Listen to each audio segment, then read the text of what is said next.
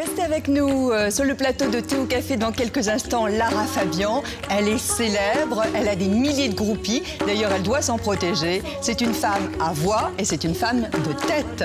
À tout de suite.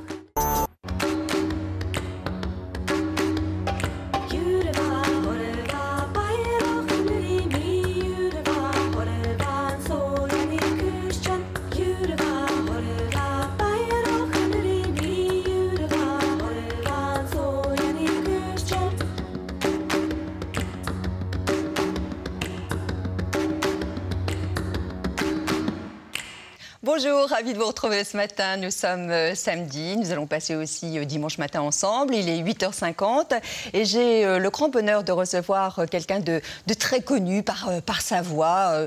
Je disais, elle a de très très nombreux groupies, des gens d'ailleurs qui, qui l'adorent, qui l'appellent mon ange parce que c'est une sorte d'ange. Voilà, elle arrive sur ce plateau, effectivement. Alors, elle en a la silhouette. C'est Lara Fabian qui est avec nous. Bonjour. Alors, on ne se connaît pas. Donc, on a beaucoup, beaucoup de choses, effectivement, à découvrir vous. On a beaucoup de questions à vous poser. Vous savez qu'on a reçu énormément de mails de personnes qui vous aiment, qui vous suivent, qui euh, savent donc que vous êtes là ce matin. Euh, J'imagine que ça, c'est quelque chose que, que vous connaissez et que vous en avez l'habitude, non? C'est pesant ou pas? Non, non, non. Et puis, il n'y a pas, d'habitude qui se crée avec, euh, avec un geste d'amour. Et... Alors, 12e album, on l'évoque, 12 millions euh, d'albums vendus. Oui. C'est énorme. C'est pas mal. c'est pas de ma faute. Bah, c'est sans doute grâce à vous quand même. Alors que vous en êtes qu'au début, hein, parce que vous êtes toute jeune. hein. Vous avez quel âge? J'ai 39 ans, je viens d'avoir 40 en 2010. Euh, ça, ça veut dire quelque chose? C'est un carrefour, 40 ans pour Je vous? pense. Oui? Je pense que c'est une véritable étape. Alors, je la franchis pas avec peur, mais je crois qu'effectivement, c'est une étape pour une femme, en tout cas. Mhm. Ouais. Mais c'est un moment aussi de sérénité, vous, vous le vivez comme ça Moi, j'ai commencé à me sentir mieux vers l'âge de 36-37 ans. Et paraît-il, pour une femme jusqu'à 45, on a une 9-10 années de grâce comme ça. Je, je le sens comme ça, moi. Ouais. Alors, on va évoquer bien sûr euh, vous, euh, vos convictions, vos assurances, vos fragilités, euh, vos peines aussi, vos chagrins, parce qu'on est tous composés de, de tout ça, n'est-ce pas? Quand on revient en arrière, Lara, c'est le docteur Givago? Tout à fait. Au début, c'était Laura, mais maman étant sicilienne, elle n'aimait pas le fait qu'on dise Laura. Donc elle a cherché un prénom qu'on ne transforme pas à cause d'un accent. Et en allant voir le docteur Givago avec Sharif, elle, euh, elle a craqué sur ce prénom et sur cette actrice. Le- Votre patronyme, vous l'avez changé également? Tout à fait. Euh, mon, mon nom de, mon nom est un nom belge, très belge, c'est Crocart en réalité. Et Fabiano, qui est devenu Fabian, est le nom du côté de ma maman, la famille de ma maman. Vous êtes très marqué par votre famille. Très, effectivement. Pourquoi je suis- Par amour, tout simplement. Peut-être parce qu'elle m'a construite, elle m'a. euh, je pense que voilà, une famille peut nous donner une forme d'éducation. Il y a un héritage véritable au sens génétique du terme, bien sûr, mais dans ce cas-ci, il y a une vraie transmission. Ce sont des gens, ce sont des passeurs de valeurs, mes parents. Et je crois qu'en ça, je suis très marquée par eux. Euh, vous vous souvenez, enfin vous vous étiez pas là, mais euh, ils vous ont raconté forcément comment ils se sont rencontrés. C'est très joli ce- cette histoire, Elle cette anecdote. Elle est incroyable. Il était à neuf jours du mariage avec une autre, une sublime blonde aux yeux bleus, un peu dans votre style. Imaginez à quoi j'aurais ressemblé. Et ben non. Pas mal quand même, hein, sincèrement. Je dis ça en rigolant lors du dernier spectacle, sûr. je le disais en rigolant. Maman est, euh, est donc la sœur de son meilleur ami à l'époque. Elle arrive de Sicile, elle n'a jamais mis les pieds en Belgique, en tout cas jamais mis les pieds dans le Nord, elle prend un, un train. Et son meilleur ami appelle euh, Pierre, mon papa, il lui dit écoute, je ne peux pas aller chercher ma sœur, est-ce que tu peux me rendre ce service? Il lui rend ce service, il y va avec sa future épouse et se rend compte au moment de, cette, euh, au moment de ce contact que c'est elle en fait, que c'est elle son autre, sa femme. Alors que lui-même était déjà engagé. Neuf jours après. Enfant unique, c'est un handicap? Je ne l'ai pas considéré comme ça. Est-ce que vous en avez même profité pour être un peu une petite fille capricieuse? J'ai pas eu le droit, moi, parce que je viens pas de ce genre d'éducation-là, et parce que ma maman a plusieurs frères et sœurs qui eux-mêmes ont des enfants, et euh, le côté euh, moins de 12, on se sent un peu seul à table, c'est tout à fait vrai chez nous. Donc on était toujours très nombreux, toujours accompagnés de la famille, et j'ai pas profité de ce côté solitaire qui crée euh, le, le caprice et donc la, la déséducation, si on Mm. peut dire. À 5 ans, vous déclarez je suis chanteuse. Oui, je dis Mais plutôt comment je on suis. peut comment on peut assumer comme ça ce euh, ce vedettariat déjà à 5 ans? Parce que l'idée c'était d'être célèbre? Non, non, non, non, non, non. L'idée c'était de chanter. Oui, c'est vrai que je déclare je suis. J'ai pas la notion du devenir ou du désir. C'est c'est un état d'être. Je dis souvent, ça m'a choisi pour cette raison-là. Qu'est-ce que vous inspire ceci? Papa, can you see me?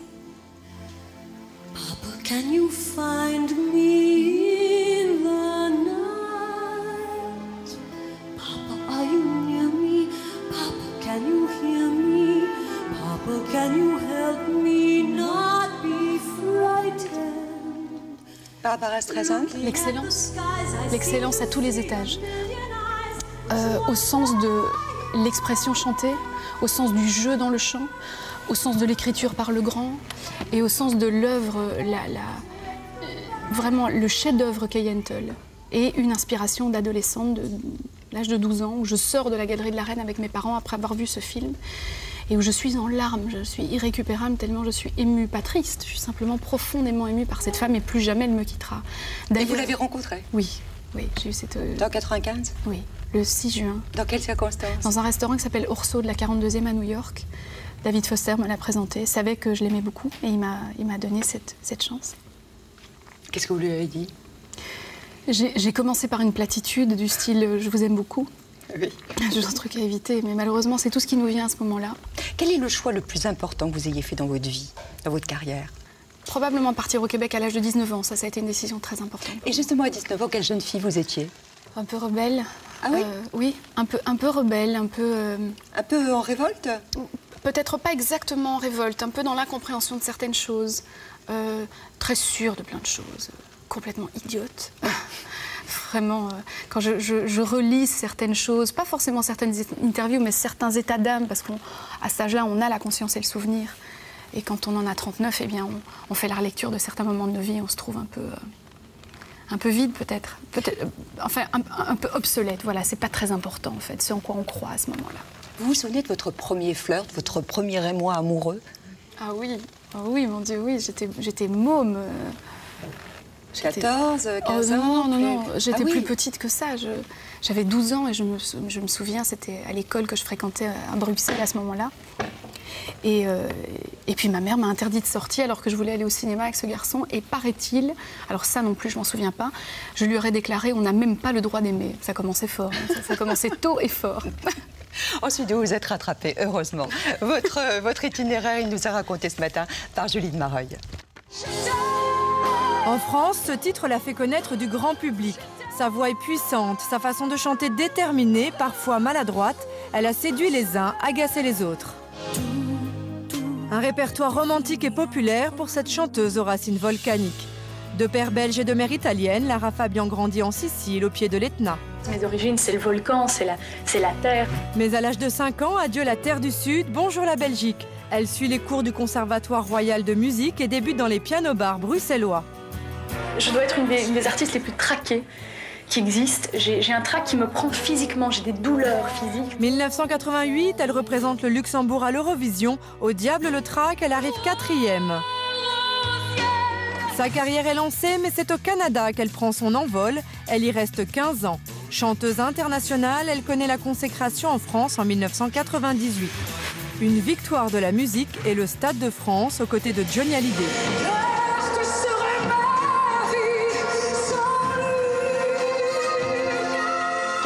Elle enchaîne de prestigieux duos, mais Lara Fabian n'est pas qu'une interprète, elle est aussi auteure, compositeur d'une cinquantaine de chansons. Au fil du temps, elle apparaît moins exaltée. Je suis beaucoup plus dans ma vérité aujourd'hui. Avec une douzaine d'albums, dont deux en anglais et plus de 12 millions de disques vendus, elle s'est imposée comme une artiste incontournable. C'est un bon souvenir, l'Eurovision Euh, c'est les sentiments de peur qui me reviennent quand j'y pense. Oui, c'est un bon souvenir en général, mais je me souviens plus de l'angoisse, de la peur. C'était ma première expérience télévisée devant 700 millions. Il y avait 700 millions à l'époque de gens qui regardaient.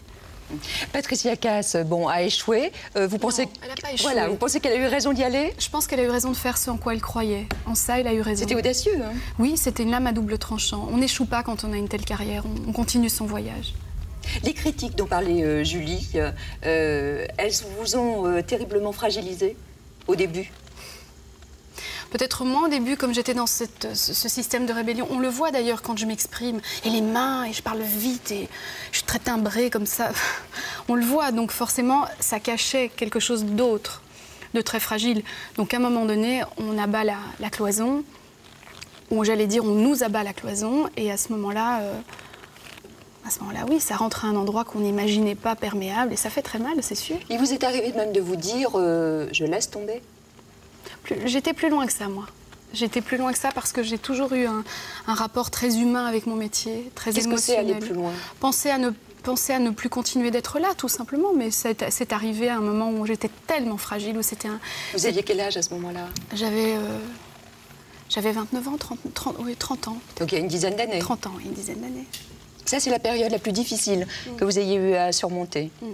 Qui a duré un moment quand même. Mais sur un plan plutôt professionnel ou personnel C'était un mélange de choses. Je crois que je n'ai pas fait la... j'ai pas bien séparé les dossiers. je Vous appelez ça dossier. je l'ai payé un peu cher. oui. Vous habitez Bruxelles? Oui. Hum.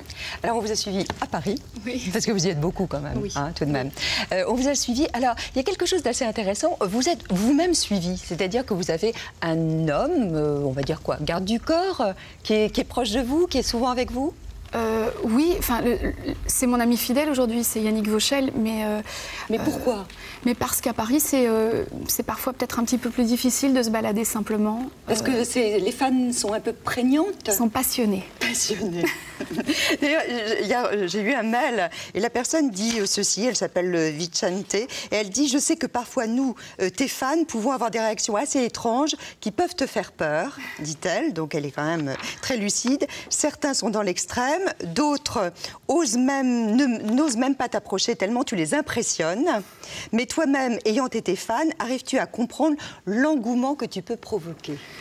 On ne peut pas comprendre l'engouement parce que tout ce qui est de l'ordre émotionnel, c'est presque un état amoureux. C'est euh, c'est difficile d'être pragmatique à cet endroit-là et de l'expliquer, je trouve. Voilà. Donc parfois je le comprends pas et puis parfois je suis simplement moi aussi prise dans cet état amoureux avec eux. Et si j'ai le temps, si, si je suis dans cette euh, disposition d'esprit-là où je peux vraiment m'arrêter et, et échanger, Et on peut pas l'être 24 heures sur 24. c'est ça le problème. Alors parfois, comme ils le savent et que c'est vraiment, c'est à l'échapper et que c'est dans l'éphémère, ils voudraient m'attraper un petit peu plus longtemps et ça crée parfois des gestes comme ceux dont parle Vincent et qui sont effectivement Extrêmes. extrêmes. Mm. Allez, une journée euh, en liberté à Paris et c'est Julie Mareuil et Daniel Lévy qui vous ont accompagné.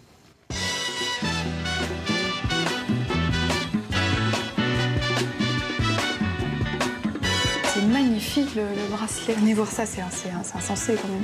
C'est vraiment magnifique, magnifique. J'ai un, rapport de petite fille moi avec les bijoux. Je vous avoue, pour moi c'est pas un faire valoir ni euh, ni une façon ostentatoire de vivre sa vie. C'est vraiment un rapport au rêve, un peu le comme quand on est petite et que pour la première fois on s'introduit euh, dans la chambre de maman et qu'on lui vole des choses dans la commode. J'ai encore ça. C'est splendide, non On dirait un ciel étoilé. J'ai la chance, eh bien, de- d'être ce qu'on appelle les géris de jour. Ils nous permettent euh, de rentrer dans leur boutique, d'emprunter, emprunter, hein, je dis bien, des, euh, de, de magnifiques bijoux, et puis de les porter un soir selon la tenue euh, qu'on porte et les y délivrer moi. Ciao Joy Ah mon fils, comment tu vas? Ça va bien? Ton véhicule est avancé. Merci. Je vous emmène chez Schwartz. C'est un restaurant dans le Marais, le restaurant d'un de mes amis. Maintenant, c'est le passage obligé. Oui, on est déjà arrivé. On, avait un faim. peu plus. J'avais On avait faim. faim. Elle avait faim. C'est terrible. Je suis extrêmement gourmande. C'est une, une des personnes les plus solaires que je connaisse et les plus positives que je connaisse. Je viens d'une lignée de femmes comme ça. Même quand ça allait pas. Pardon Ça allait. Oh là. Sans blague. 24 heures avec. C'est clair qu'elle avait de la bouffe, mais. C'est pas possible autrement. Pas avec moi, quoi. Tombé. Ah, déjà Attends, ah, il va falloir que j'aille chanter, là. Allez, on est parti. J'aime Paris quand je ne suis pas obligée d'y travailler. Ça m'évoque Piaf. Tout le répertoire de Piaf, c'est sûr. Et l'hymne à l'amour, peut-être parce que c'est une des plus belles chansons d'amour. euh, enfin, je l'entends, là.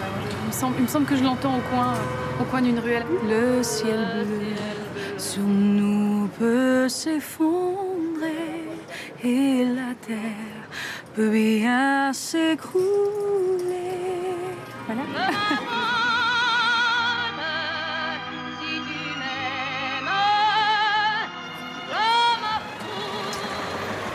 Ils sont là, les Oui, ils sont là.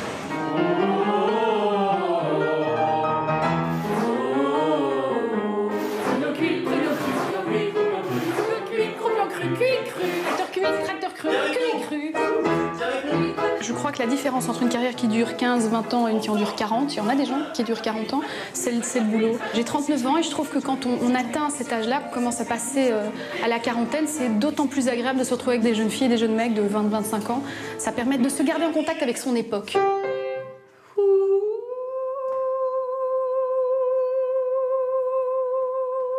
J'ai mangé du cheesecake avant de venir. Tu as bien fait. Je Je préfère ça à un gigot d'agneau à l'ail. Moi, quand je suis ici, je ne suis pas en train de vendre un disque, je ne suis pas debout sur une scène. Je suis euh, une, une élève qui essaye au mieux de restituer le meilleur de son instrument pour qu'après, sur scène, je sois en liberté totale. Ça va? Ouais, merci. C'est formidable euh, d'avoir assisté à ça, euh, c'est-à-dire à, à des cours, euh, des cours de chant que vous prenez pas seulement pour nous, hein, c'est vraiment régulier, hein, c'était pas pour le reportage. Euh, votre voix, elle s'est énormément modifiée. Oui, alors on peut parler, euh, on peut parler d'âge aussi. Euh, les cordes vocales, ce sont les muscles, tout simplement. Donc forcément, avec l'âge, le muscle se modifie, le son se modifie. Et puis un vrai travail. Il y a un travail qui vient de l'école classique. Euh, le travail que Pierre-Yves Duchesne me fait faire, c'est un professeur vraiment exceptionnel, vient de l'école autrichienne, dans l'école de Schwarzkopf. Et c'est un travail très précis. Et c'est vrai que si, tout comme un grand coureur, une grande danseuse, si on n'est pas régulier, on souffre d'un manque de liberté Et terrible. vous le ressentez, ça? Ah oui, ah, je peux vous dire si je ne suis pas, euh, oui, si je suis pas bonne élève, eh bien, euh, je le paye assez cher sur scène, effectivement. Vous parlez plusieurs langues. Oui. Mm. Est-ce que ça joue, c'est-à-dire d'avoir une bonne oreille, une oreille juste, et de parler plusieurs langues? Souvent, on dit euh, qu'il y a un lien, que ça aide. Alors, je ne sais pas ce qui commence, où ça commence. Voilà. Est-ce que c'est parce qu'on m'a aidé à parler plusieurs langues, parce que de ma naissance, euh, je, je prends l'italien, l'anglais, euh, le, le- le français? Ou est-ce que c'est parce que j'ai l'oreille musicale que j'ai appris facilement les langues? Je ne le sais pas. Vos, vos chagrins d'amour, votre euh, l'amour en, en général, vous, vous en rêvez, vous en parlez comment, en quelle langue? Si j'en rêve, en anglais. C'est la langue des anges, paraît-il. Alors c'est vrai que quand je rêve d'amour, j'en rêve en anglais. Même si je ne vis pas d'amour en anglais. Et quand vous dites des, des mots d'amour, c'est en quoi en, italien, En italien. En italien Très souvent en italien. Ça s'y prête mieux Gioia amore mio, ça chante, c'est tellement tendre. Oui, et puis c'est ce que j'ai entendu depuis que je suis enfant. Est-ce que vous avez souvent été quitté ou c'est vous davantage qui avez quitté? J'ai toujours été quittée quand j'aimais très fort. Et, et j'ai. Voilà. Et, et j'ai. euh, voilà, on va dire que j'ai rarement quitté donc. Mais une rupture, c'est un point, euh, c'est un point vraiment euh, euh, final à une histoire, à une belle histoire d'amour, où vous vous aimez, comme certaines personnes, la faire perdurer dans l'amitié. J'ai essayé, c'est pas toujours facile, ça prend. c'est pas à sens unique, voilà, ça prend énormément d'ouverture d'esprit. Il faut quelqu'un d'intelligent en face, sinon c'est pas possible, parce qu'il y a des douleurs qu'on n'arrive pas à intellectualiser, donc comme on n'arrive pas à intellectualiser la fin, eh bien on n'arrive pas à trouver euh, un pansement pour la blessure, voilà, c'est ça que j'allais dire. En réalité, j'ai. Pour moi, une histoire d'amour est beaucoup plus une nourriture qu'une fin ou un commencement. Qu'est-ce que vous attendez d'un homme? Qu'il soit loyal, euh, qu'il me fasse rire. J'adore rire. Euh, qu'on partage les mêmes plaisirs simples, parce qu'ils euh, ils sont très très nourrissants. Et qu'il soit juste. J'aime les gens justes. J'aime qu'on me dise les choses comme elles sont. Voilà. Même si ça fait mal ou même si c'est pas toujours euh, facile de dire à quelqu'un qu'on aime ça, ça va pas. Vous n'aimez pas le mensonge. Non. Et vous, qu'est-ce que vous donnez? Tout. Franchement, je donne tout. Les gens, les gens que j'aime vous le diront. Euh, je suis vraiment pas avare de, de sentiments, euh, J'ai plein de défauts, mais il y a une qualité que j'ai véritablement, c'est la générosité. Vous donnez sans ménagement, sans vous protéger vous-même. Je sais pas faire autrement. Et donc, je, forcément, je me ferai sûrement encore mal. C'est un risque que je veux bien prendre parce que dans cet échange, pas absolu, mais entier, il, il y, a, euh, il y a un bonheur incroyable, La personne avec laquelle vous vivez euh, est aussi d'origine italienne? Entre autres. Voilà. Euh, donc, tous deux, est-ce que vous, vous vivez euh, quelque chose de volcanique, Non. de très expansif? Non. Je vous cache pas que j'aime pas tellement m'exprimer là-dessus parce que j'ai appris à me protéger. J'ai appris, j'ai appris les silences obligatoires dans ce métier. Euh, Mais je ferai un lien en vous disant que les personnes qui appartiennent à une même culture ont donc plus de points communs et donc euh, un sens de l'harmonie plus évident. Ouais. Déjà, elle a un caractère volcanique, Lou? Là non plus, j'aime pas trop en parler. Vous comprenez pourquoi j'aime pas trop en parler Mais elle a du caractère. C'est dingue. C'est dingue, dit-elle. Mais solaire, très solaire. On parle de votre actualité Si vous voulez. 12e album. Alors là, c'est extraordinaire parce que vous êtes. euh, euh, vous parlez de générosité. Euh, habituellement, c'est vous euh, qui, qui écrivez vos chansons. Euh, vous êtes souvent auteur, compositeur et interprète. Et cette fois, vous vous êtes mis dans la peau de grandes interprètes euh, comme, euh, comme Barbara, comme Nicole Croisy, comme Nicoletta, euh, comme Françoise Hardy, euh, comme Nana Mouskouri, etc. etc. Et, euh, et ça donne un, un disque très différent. C'est ça que vous avez souhaité. C'était un autoportrait sous forme de révérence. C'était pour moi la différence. Un hommage. Oui, vraiment une révérence, vraiment une façon de dire avec beaucoup de gratitude merci. On peut dire merci de mille façons différentes. Dans ce cas-ci, j'avais juste envie de dire si je, si je me suis construite. euh, et que j'ai accepté de n'être que ce que je suis. Parce que tout part de cette question. Ma meilleure amie un jour me dit comment on devient ce qu'on n'est pas, ce qu'on rêverait d'être, juste comment on accepte nos limites et parfois Nathalie. comment. Nathalie. Et j'ai dit, écoute, moi, c'est les femmes de ma vie. J'ai dit, t'en fais partie, maman en fait partie. Et puis, on a fait une digression. On s'est mis à parler des comédiennes, des chanteuses qui ont eu un rôle important, des auteurs-compositeurs. C'est comme ça que cet album est né. Donc, euh, oui, avec une, une lettre écrite par vous à chacune. à chacune. Ouais. Alors, il y a deux personnes euh, qui sont très importantes euh, dans, dans cet album. Euh, J'ai lu les lettres avec attention et je me suis rendu compte comme quoi elles avaient vraiment un sens d'être dans cet album. C'est Nana Mouskouri et puis c'est aussi Nicoletta. Et elles ont accepté de croiser leur regard sur vous, Lara Fabian.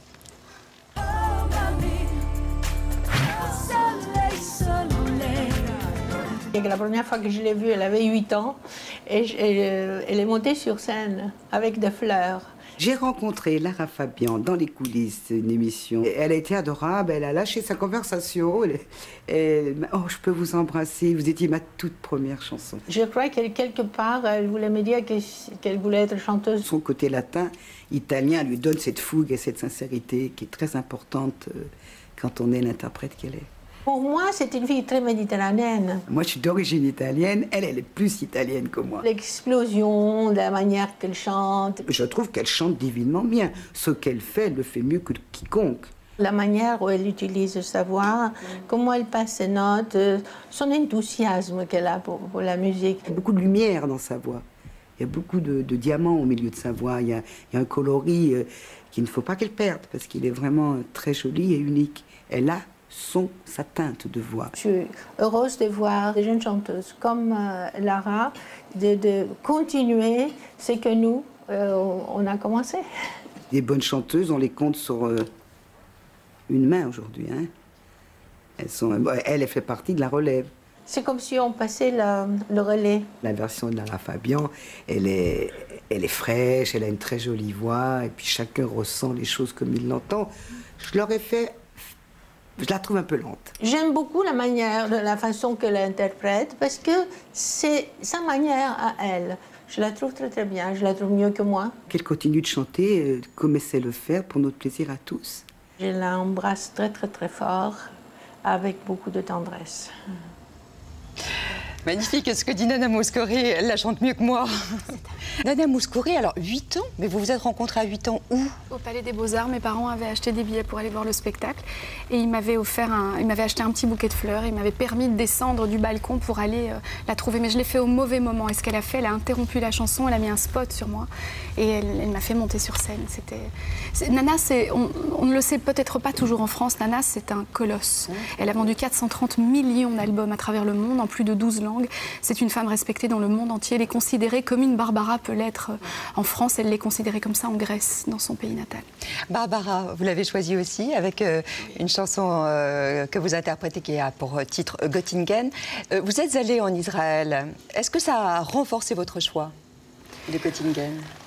J'avais déjà fait mon choix. Simplement, euh, le fait d'y aller, le fait de me retrouver dans cet environnement où euh, toutes ces cultures et toutes ces religions se, se mélangent, euh, m'a fait comprendre d'autant plus le sens peut-être intrinsèque. la, la lettre que vous écrivez à Barbara, elle est écrite à Jérusalem. Oui. Hum. J'ai voyagé avec cet album, beaucoup, et, et surtout avec ses lettres. Alors, est-il vrai qu'en 2010, on vous verra sur scène? Je l'espère. Je, je- ça reste une conversation extrêmement enthousiasmante et, et, euh, et plein de rencontres avec, euh, avec la production de, de cette idée. Alors, Victor Victoria, Voilà. c'est ça? C'est-à-dire, vous vous reprendriez le rôle de Julie Andrews? De Julie Andrews, voilà. Tout un défi. On, on est vraiment euh, en train d'en parler. Moi, j'ai accepté euh, d'emblée. Après, euh, vous connaissez ce métier, c'est. Dans un théâtre parisien. Voilà, tout à fait, pendant quelques croise mois. les doigts. Oui. C'est un projet auquel vous tenez. Beaucoup, oui. Vous avez très envie de monter sur scène. J'ai envie de monter sur scène, je le fais souvent, mais, mais là, dans, dans une. oui. Voilà, là, dans le rôle de quelqu'un. euh, euh, qui parle à plusieurs niveaux, voilà, qui chante, qui danse, qui joue, qui devient un homme. Ça, ça me séduit beaucoup. Ouais. Parce que je, je trouve que ces femmes, voilà, on me demandait euh, il n'y a pas tellement longtemps quel est le point commun de toutes ces femmes, et j'ai très spontanément, j'ai répondu ce sont toutes des mecs. Elles ont toutes, elles ont toutes cette force, cette fougue, cette puissance et cette volonté de, de, de ne, de ne pas faire de compromis, malgré le fait qu'on les juge ou pas. Une grande détermination. Ouais. Et d'ailleurs, à l'intérieur, il y a le- la charte des droits de la femme. Oui. Hum. Donc c'est assez euh, revendicatif et assez engagé. C'est en- voilà, sans être revanchard, on va vraiment employer ce mot euh, pari- parisien. Effectivement, je me suis engagée sur une voie où je, où je défends les femmes. euh, non pas qu'on ait besoin d'être défendu, je pense que parfois on a juste besoin de souligner certaines choses Mm. parce qu'il y a encore aujourd'hui des conditions de vie extrêmement euh, désagréables extrêmement, enfin inacceptables. Même dans notre pays, euh, la preuve d'ailleurs, vous avez euh, participé à une opération Parole de femme et vous euh, vous êtes transformé en SDF le temps de, de quelques heures euh, avec d'autres personnalités. Regardons ces images. Vous avez une petite pièce, madame? Ah ben non. Une petite pièce, madame?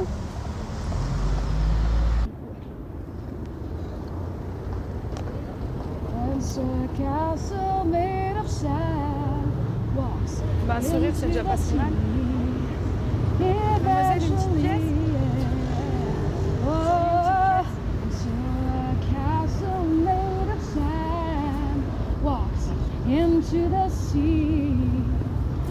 une petite pièce, madame Monsieur, vous auriez une petite pièce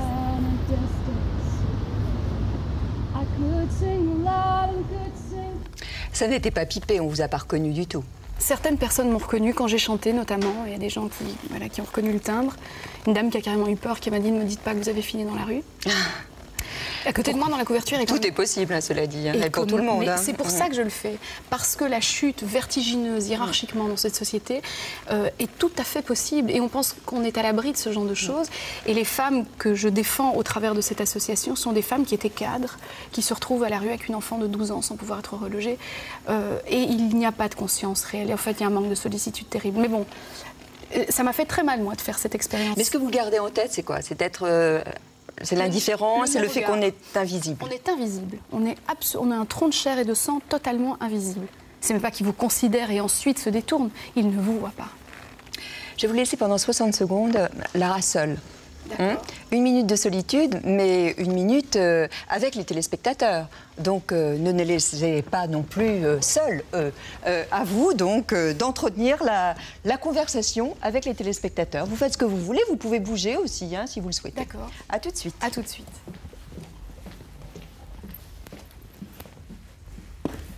Quelqu'un a un briquet? Vous avez un briquet sur vous? Peut-être? Merci.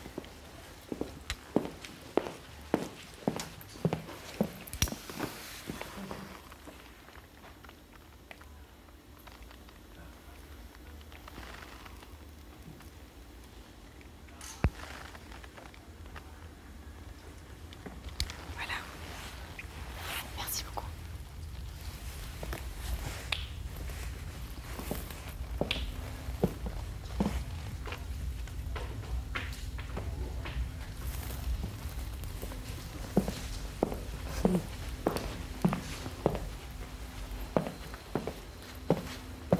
C'est des lampes magnifiques.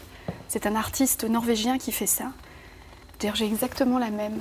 C'est assez absolu. Je trouve que c'est d'une poésie, d'une légèreté incroyable. C'est peut-être un des premiers achats que j'ai fait en galerie quand je suis arrivée euh, à Paris, au tout début. J'ai trouvé ça chez. Je ne peux pas dire où, c'est vrai. peut pas faire de pub à la télé. Ça, c'est magnifique. Je pense qu'il y en a une autre en forme de cœur, là-bas. Et je vais vous la montrer. Je sais pas si vous l'avez vue pendant qu'on discutait avec Catherine, mais ça vaut la peine. C'est le même artiste qui fait ces lampes-là. C'est beau, non? Un cœur suspendu. Là, vous êtes étonnante, Lara, parce que pourquoi êtes-vous allée allumer les bougies? C'est insupportable pour vous de les voir éteintes. Oui, c'est vrai. J'ad- J'adore les bougies. C'est peut-être une des choses qui me fait le plus plaisir. C'est une des choses qu'on m'offre le plus.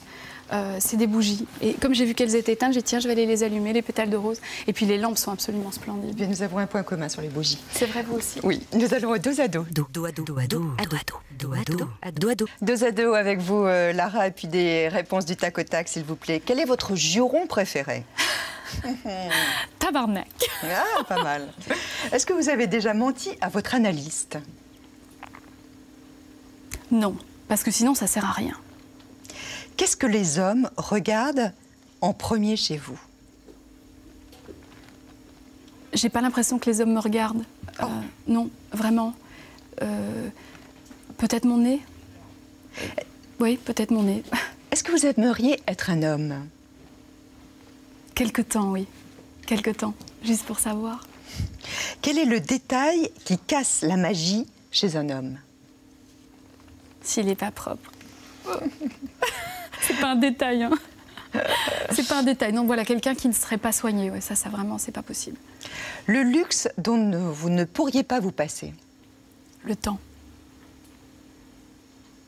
La dernière fois que quelqu'un vous a intimidé Vous tout à l'heure. Oula. Comment appelez-vous le sexe masculin? Notre ami ennemi Est-ce que vous avez déjà eu une pulsion de meurtre? Non. De, peut-être plus, plus une pulsion de, de colère qui se manifeste de façon très sicilienne, mais de meurtre, non. Vous ne pourriez pas tuer par amour? Non. Quel est le personnage historique que vous auriez aimé séduire? Charlie Chaplin. Qu'est-ce qui est insupportable lorsque l'on partage votre vie? À quel point je peux être pressée des fois. Et là, à cette minute même, qu'est-ce que vous avez en tête comme chanson? Euh, une autre partie de Yentl, vu qu'on a écouté Papa Can You Hear Me, j'aurais Piece of Sky. Ça donne quoi? It all began the day I found that from my window I could only see a piece of sky. Merci. Moi, j'allais re- retourner à table et peut-être que vous allez chanter cette fois. Avec plaisir. Et une chanson tirée de- évidemment du nouvel album. De TLFM, d'accord. Soleil,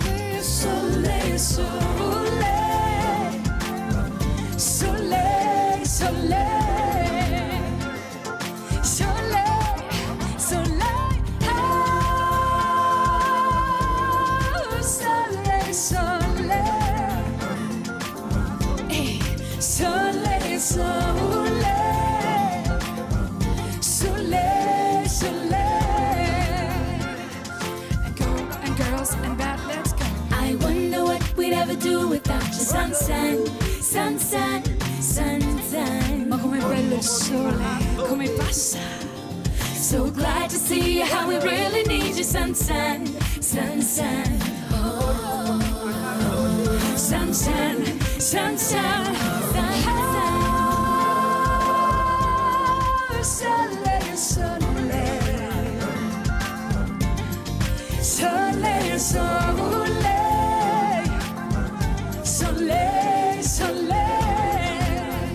Bravo, bravo. Merci beaucoup. Merci beaucoup euh, Lara, c'était euh, du live pour vous euh, et je tiens à le dire parce que c'est très important de moins en moins aujourd'hui d'interprètes justement chantent en live et je trouve ça vraiment triste. C'est un peu notre métier quand même. Euh, absolument. Alors, si un album qui rendait hommage aux hommes existait, quels seraient les artistes que vous salueriez Johnny, euh, Lama, Frank Sinatra, Stevie Wonder. Ah, vous Ça y est, vous avez déjà l'album. En tout, voilà, comme ça, vite fait, ça serait, euh, ça serait ces gens-là, oui. Euh, Vous avez une double nationalité Oui. Donc Oui. euh, française Non, belge. Belge et canadienne. Belge et canadienne. Belge et canadienne. Est-ce que vous voterez aux élections européennes? Va bien falloir, va bien falloir faire un petit quelque chose. voilà. Est-ce est que vous vous sentez concerné Forcément, forcément. Alors, je ne suis pas très savante en termes de politique. Je m'y intéresse un peu parce que c'est important de le faire, parce qu'aujourd'hui, ben, j'ai une autre responsabilité qui n'est pas juste ma petite personne, mais euh, j'ai une responsabilité de maman. Voilà. Et en ce sens-là, j'essaie de m'y intéresser de plus en plus et de comprendre un peu de quelle façon je pourrais interagir. À mon avis, c'est complètement désuet, mais pourquoi pas? Pourquoi pas tenter de s'y intéresser? Je voudrais vous offrir des livres. Alors, il y en a une, c'est clin d'œil hein, à chaque fois. L'énigmatique Céline Dion. Alors, fausse rivalité. Mais complètement, complètement. Heureusement que j'ai pu euh, écrire une lettre qui, qui va directement. Vous avez de- choisi une de ses chansons. Bien sûr, qui va directement d'elle à moi pour. euh, C'est Denise Bombardier, vous savez, la journaliste euh, euh, que québécoise. je connais très bien, bien sûr. interviewée plusieurs fois. Et qui a d'ailleurs écrit une chanson euh, pour Céline Dion il y a quelque temps. Et donc, elle fait un portrait chez Albin Michel, Merci chez beaucoup. XO. Et puis, édition. Et puis, alors, Miazia Dalida. Euh, là, c'est chez Ramsey. C'est l'histoire de, de Dalida, racontée par son neveu, Luigi Gigliotti. Ouais, et le journaliste Stéphane Julienne. Vous avez une passion aussi pour Dalida? Pour l'être. Peut-être un. Je, je- Moins si, pour l'artiste. Non, c'est pas ça. Euh, je parlais du répertoire qu'elle a choisi, qui était un répertoire extrêmement visionnaire, parce qu'elle a installé quelque chose qui n'existait pas. Ces femmes très hollywoodiennes n'existaient pas sur la scène française quand elle est arrivée. Mais c'est vraiment la femme, c'est tout ce qu'elle traduit dans sa façon de chanter, dans, dans cette modernité extraordinaire euh, qu'elle a. Un triste destin, hein, cela. Voilà, et c'est, en fait c'est en ça. J'allais vous dire, elle est peut-être presque un garde-fou. Mm. Elle permet à la relecture de- d'éviter certaines erreurs. Mm. Merci. De, vous êtes bien livré, euh, comme vous l'avez fait. C'est pas toujours euh, facile d'avoir euh, parlé comme ça de vos, vos fragilités et puis aussi votre force, parce que je le disais aussi euh, tout à l'heure, vous êtes une femme de tête. hein. C'est vrai qu'aujourd'hui vous êtes une femme chef d'entreprise en plus, puisque vous produisez vos spectacles. C'est vrai, mais je ne Mm. suis pas seule. J'ai une équipe extraordinaire avec laquelle je le fais. Et voilà, on peut prendre des décisions dans la vie que quand on est très bien entouré. Je voudrais remercier l'artiste qui est exposé sur le plateau Théo Café. Vous êtes allé voir ses œuvres tout à l'heure. Odile Layou dit Chicoy. Elle expose du 4 au 17 juin à la galerie Claire de Villaret, rue Blainville à Paris. Ce sont des toiles abstraites, colorées et vivantes, dans laquelle justement elle alterne vide et, et plein. Et puis euh, demain, nous serons en compagnie euh, de Jean Gachassin. Alors c'est le nouveau président de la Fédération française de tennis et nous serons à Roland-Garros sur le central. Il nous conviera donc euh, pour la première fois d'ailleurs. Euh, Il a permis que cette émission se fasse sur le central de Roland-Garros le jour même de l'ouverture des internationaux. Nous y serons. J'espère que vous serez aussi avec nous. On prendra un, thé ou café dès demain 7h. C'était un thé pour Lara Fabian. Sachez-le, si vous l'avez euh, chez, chez vous au petit déjeuner, elle prend un thé. Vous prenez rien d'autre? Si, si, des, euh, euh, du pain, de la confiture. euh, Oui, vous savez qu'elle se nourrit beaucoup. et tout le temps. Et tout le temps. C'est une bonne vivante, c'est une épicurienne, ça nous rassure. On se retrouve demain dès 7h pour un nouveau thé ou café. Au revoir. Merci beaucoup. Et puis bonne chance à vous. Merci beaucoup. Merci.